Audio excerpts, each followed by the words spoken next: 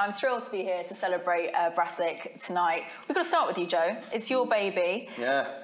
Where did you begin? How long had it been playing around in your head that you wanted to write something based on your experiences? Well, I was a bit. I've had a bit of a colourful past. I went off the bloody rails. I got up to all kinds of shit for many years.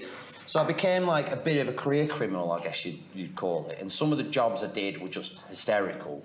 So I had a lot of stories, and I'd always play with them, and I embellish an awful lot. So slowly over time, doing these different jobs, I would be embellishing these stories, and the whole time I'd sort of gauge what worked from what didn't, you know. I came back home to my mate Quayle, and I was like, look, there's this whole thing, it's like this huge bipolar high of like, we're gonna fuck it, I've met people, Dominic West said he was good, I'm gonna write it down, Dave. Dave's like, I'm a builder, I can't, I don't wanna help. I was like, no, it's not a bipolar thing, Dave, this is real. This is real stuff. So I pulled all the garden furniture in. We wrote on everything. We wrote on the walls, the tables, we run out of shit to write cardboard boxes. Like someone chucked a roll of fucking wallpaper, wrote all over that. Like uh, lost our deposit. You know, got a TV show out of it. Every cloud. Danny, how did you come on board? And was it a daunting task to try and translate all this into a? No.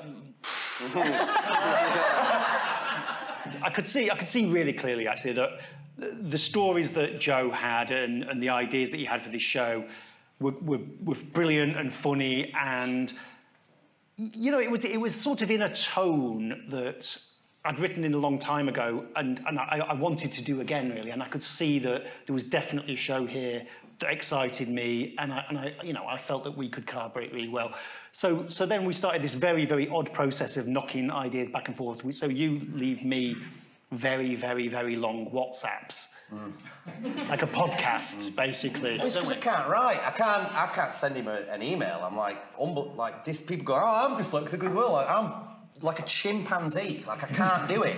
What I have got is bloody good ideas. I do, and uh, despite the fact I can't read or write, and you know what? From being a young kid, you if you can't read and you can't write, from my generation, you're going to fucking struggle in life. Is what they tell you you know, and you are made to feel bloody stupid. And for years I believed that, and only in the last sort of five or six years have I started to go, actually, no, you're not fucking stupid at all. Like, you've made some terrible decisions and continue to do so. Big subject matter, funny though. I mean, how easy is it to, to marry those things together, and how important is that tone to, to making Brassic work?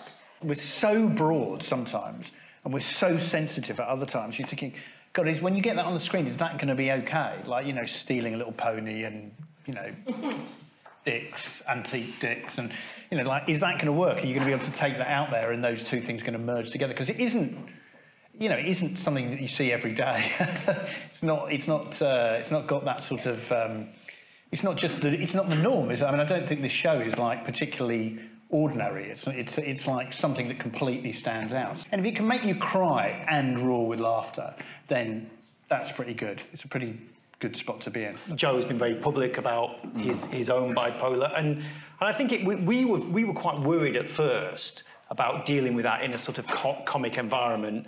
But in the end, you know, you said it. It was. It's like as long as we're truthful about it, we can be as funny funny as we like. The scenes where he goes to see uh, Dr. Chris, Dominic West, are, are, just ridiculous. Within those scenes, what we're doing actually is having our cake and eating it and going, we're, we're dealing with bipolar because everything Vinny's saying is truthful, but Chris is so kind of self-absorbed that you get the comedy out of it as well. So it's almost the negligence of Chris is almost a little bit of a comment on the system we work under and how we sort of we put everybody under these umbrellas, but one person's problems are always very different to the next, and, and that's the trouble with mental health it's not a look at working class life that's bleak and depressing and all about aspiration and desperation. It's mm. so different to that, isn't it? It's really important. I feel like, I, you know, the working classes, anything, anything, uh, any working class show that represents the working class is fucking miserable. And some of the happiest people I know are working class. Some of the smartest lads I know are working class. My opinion on it was I'm just sick to death of us being depicted as these like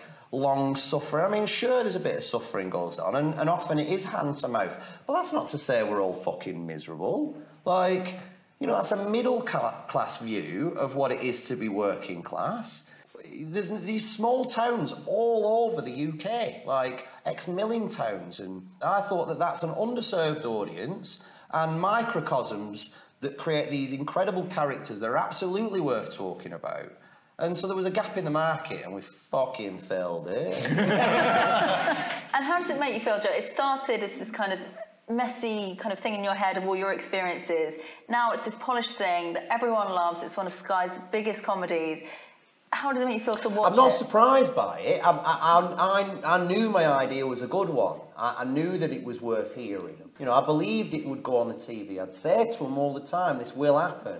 I've got other ideas. They will happen. Like, absolutely they will. I believe in myself. For the first time in a lifetime, I know my own worth. Uh, and I, I'm not done. Like, I want more. Yeah. Incredible. Yeah. Um, yeah, yeah. Um,